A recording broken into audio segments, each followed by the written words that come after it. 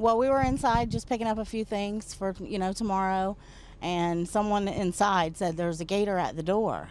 So, of course, curious people, we came out, and it was right against the door. I mean, you could see it. I mean, it was probably five, almost six foot long. It was a nice sized gator just chilling.